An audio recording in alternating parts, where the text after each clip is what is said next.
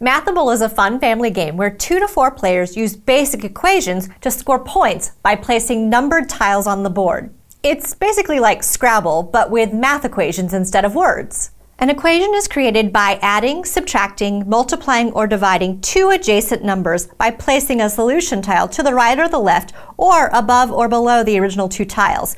For instance, 10 plus 50 equals 60. Each of the tiles has a point value, which is what is used to score a player's equation.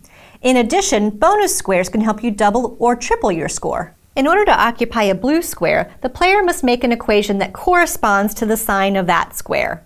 The person with the highest score at the end wins the game. This game is a fun way to challenge your math skills, problem solving, and critical thinking.